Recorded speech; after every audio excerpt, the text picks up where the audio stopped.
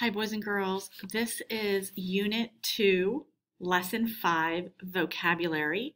You're going to need pages 7 and 8 in your vocabulary journal. So go ahead and get that out right now. We are continuing our study of animal classification. Our first word for today is oxygen. Everyone say it with me. Oxygen. Write it on the line. And if you need to pause the video, go ahead. Oxygen is a colorless gas that animals must breathe to stay alive. And animals includes humans. So oxygen is a noun, it's a thing, it's a colorless gas, we can't see it, that animals must breathe to stay alive.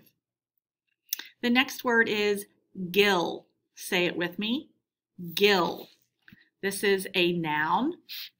Write it on the line. It's a thing. One of a pair of organs fish use to breathe underwater.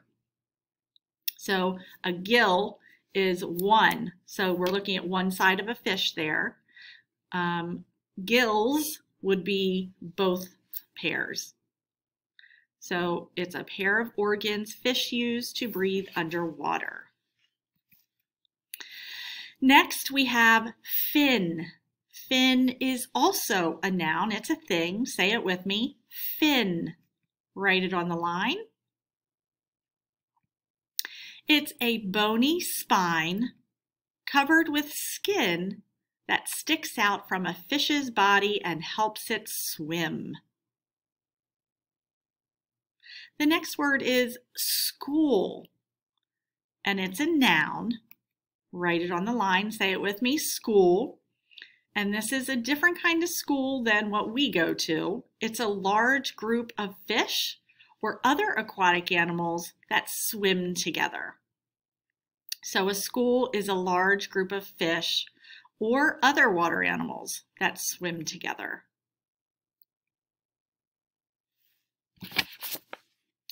Our last two words, migrate. Everybody say it with me. Migrate. This is a verb. It's an action. Write it on the line. It means to travel back and forth from one place to another. So birds migrate south in the wintertime typically, and they migrate north in the summertime because it's warmer here and they can live here. And our last word today is aquatic. Say it with me. Aquatic.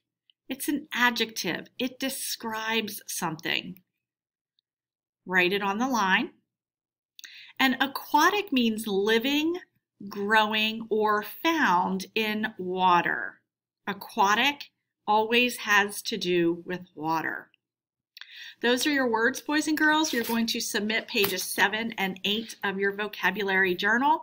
Practice reading the words and saying the words and looking at their definitions.